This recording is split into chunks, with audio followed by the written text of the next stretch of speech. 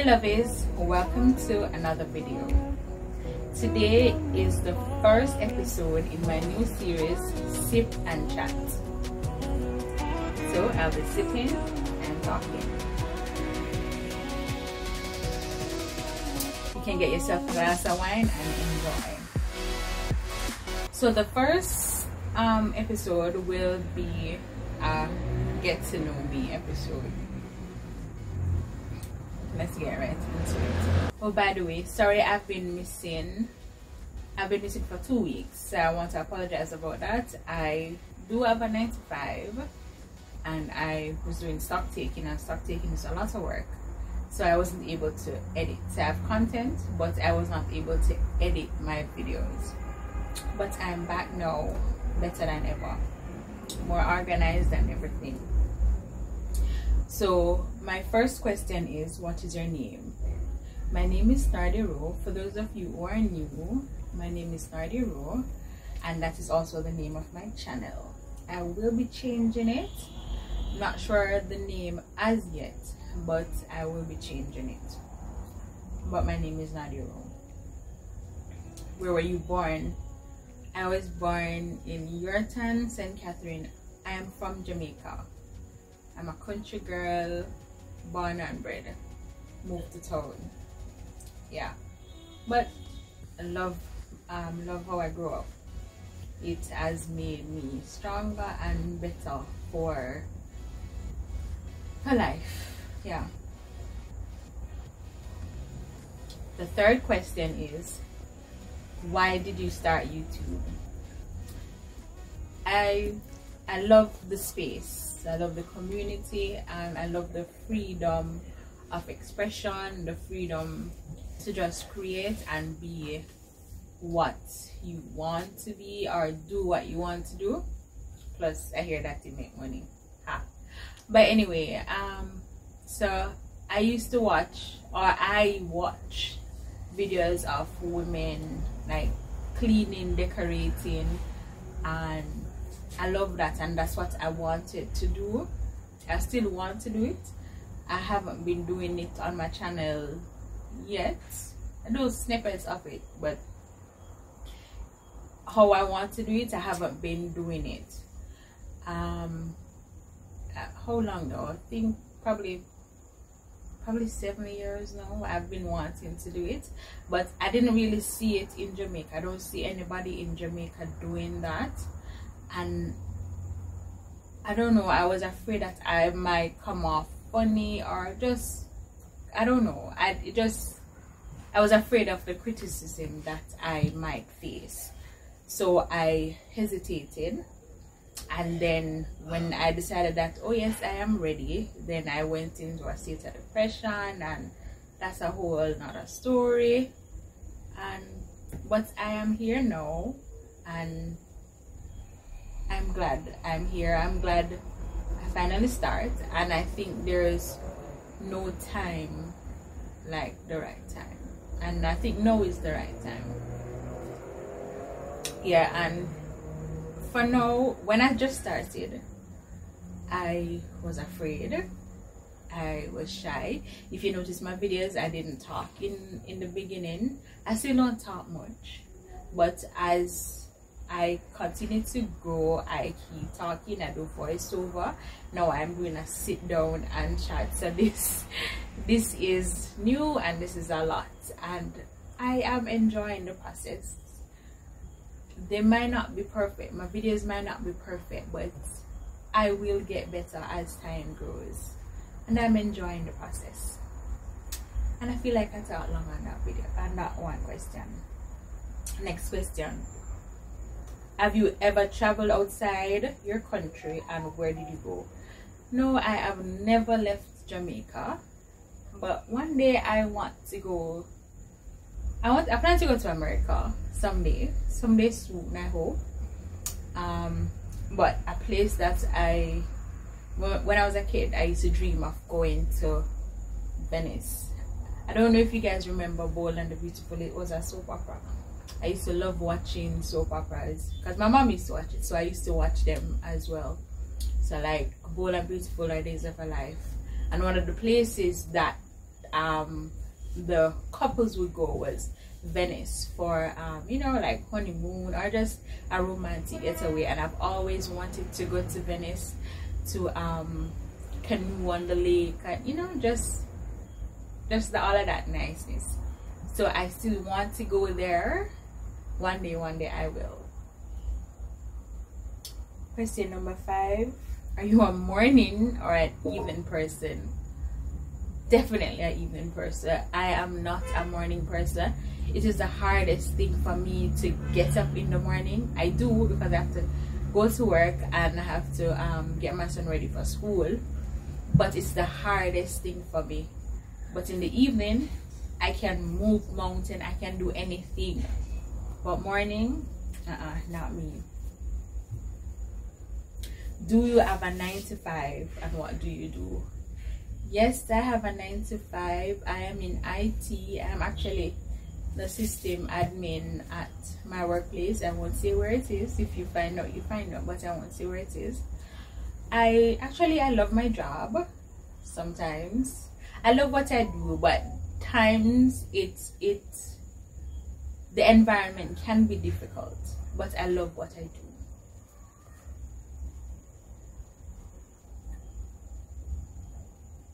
question number seven are you more likely to avoid a conflict or engage head on? It depends. More than likely, I would avoid conflict. I would engage if it is someone that I care about and I want to um, resolve the situation. If it is something that, if it is someone that I care about, I'm gonna want to resolve the situation and iron things out or talk it out or explain my side or stuff such the like. That's the only way i would engage in a conflict. Otherwise if i don't care i just make you say or argue or do whatever it is that you want to number eight. Do you have kids so it is one two the three part question do you have kids Yes, I do. How many? One. I have a son. And how old were you when you when you had your first child? Um, I was old. I think thirty-one. And here's my son. Hi. So that's my son, Micah. He's shy. He's dying over there.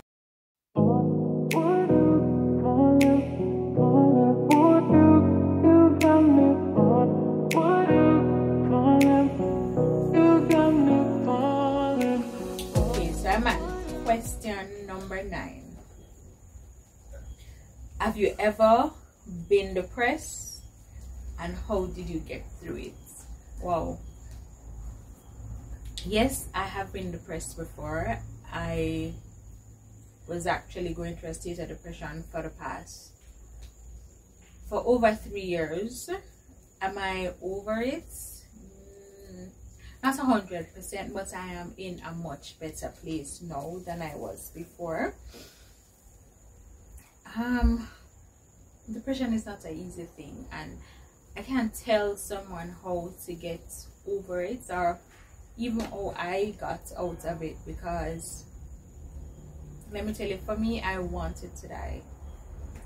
I felt like i was dying and i wanted to die. It's a truck is passing yeah it's the most painful thing ever. Listen, I have sickle cell and I've felt sickle cell pain and trust me, the pain that I felt, it's sickle cell pain not compared to it. And that might sound dramatic, but that's how I felt at the time. It was painful, I cried. I, trust me, it did rough. And I'm not someone that talks so I don't really tell people so my apartment is close to the road and every sound the vehicles make I can hear so let me apologize for that anyway as I was saying so for, for me when I was going I don't talk a lot so when I was going through it a lot of people knew. Um, only person person that know was just people that was in my immediate circle. As if my mom and dad, I didn't tell them. Um, my parents love me. My parents love me. My brother love me, and I know that they would be there for me. However, my family is as before I said I'm from country. So we are not necessarily we're not necessarily the family that would we don't talk about like depression and stuff like that. I, I didn't grow up talking about it. I don't know if they've changed now, but I we didn't grow up talking about depression and and stuff like that and just bawling over feelings and and just having things getting on. We fight through things. Um, so me crying over because I felt depressed or whatever it is that I'm going through, me crying over that, it is not something that I thought that they would understand. I think I thought that they would probably say, like seriously, that's your ball for that you stress yourself over. No man, get over that. Cause that's what I'm used to. You have to toughen up. You come from country, you know, cry over spilled beans. You know, cry over spilled milk. You toughen up, you harden up and you keep it moving. So that's what I thought that they would say. So I never said anything to anybody. And even my friends, I never said anything to them because again what I was stressing over I never thought that they would see it as something for me to be stressing out about. Like yo that's a simple something like get over it. So because of that I I was ashamed and I kept it to myself. And for those who knew, I never thought, I don't think that they took it serious or they were, weren't even in a position to, I don't know. In my, when I was going through it, I just see it as them not caring. But maybe they just weren't in the position or in the frame of mind to deal with whatever I was going through. But it was it was hard. It still is hard. But as i said i'm in a much better place and you just have to take it a step at a time. Counseling is good. I never went to counseling and it's not too late because i think i i want to go but um and people what if you know somebody around you that is going through depression or is just sad and you're not hearing from them or i don't know they look different or look like something is wrong, check on them. Show them some love, give them some love. And they might not want to talk about it, it's okay. Don't dig, don't cry. Just let them know that you care. Me, sometimes maybe even if you say that you care, they'll break down and start crying. But yeah. Okay, let me move on. Enough of the sap story. the next one are you a good cook i think i am but um, you can check out my channel and you'll see are you a good mom i don't know i don't know if i'm a good mom but i am trying my best. I love my child. I hope he loves me. He said that he loves me. And he's the best person to ask if i'm a good mom. But i know i'm trying my best. Sometimes I don't think I'm doing my best, but I do try.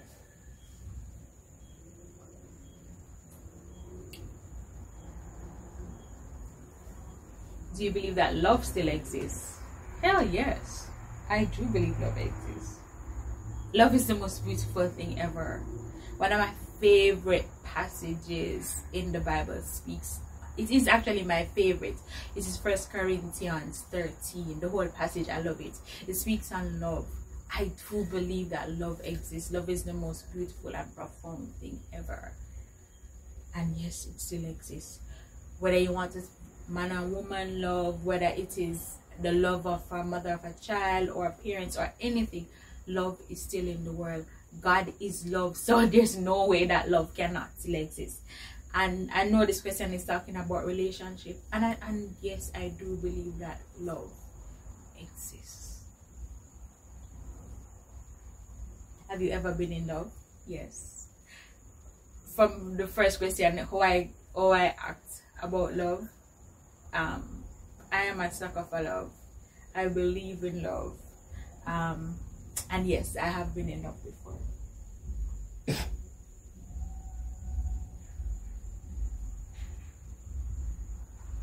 What's your biggest fear? Oh God. Right, my biggest fear right now is um, is being in a car accident. That is a crippling thing for me right now. Just being in a car accident. Um, biggest pet peeve. This is my biggest pet peeve. Drunk talking.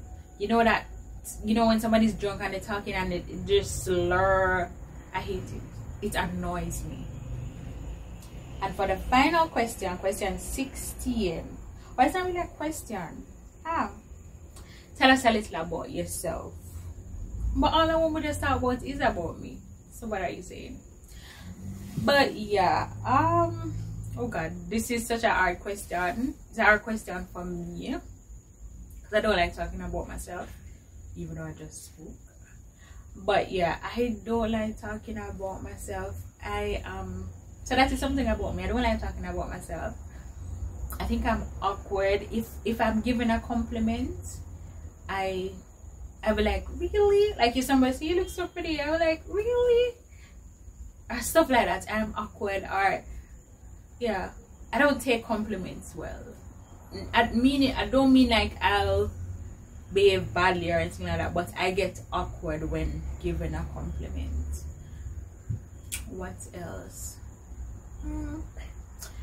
i yeah another thing about me so i love a clean place but and i love cleaning but um so i love a clean place and i love cleaning but when the place is messy I get anxiety. And then it, it's such a crippling anxiety that um, I can't, it's like I can't clean. And that is weird because I love cleaning.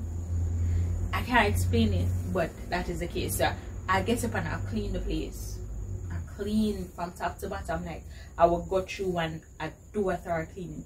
But you see, if you mess up the place that I just cleaned, it's like it cripples me for a while and I just sit and I'm and I get in my head about how the place is messy.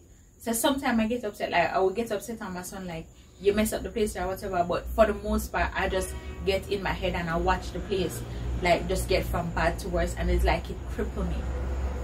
That is weird, but yeah, that is something about me. Um, another thing about me. Oh God. Uh, I love deco. I love um decorating. I love DIY. I like building things. Am I good at it? No, but I still love to build. Anything else? I can't think of anything else right now. But follow me and you'll find out more as we go on this journey. Thank you again for watching this video. Thank you for subscribing to my channel please share with share share this channel share this video with a friend share my channel subscribe tell a friend to tell a friend about Nardia I love you guys. Thank you. Bye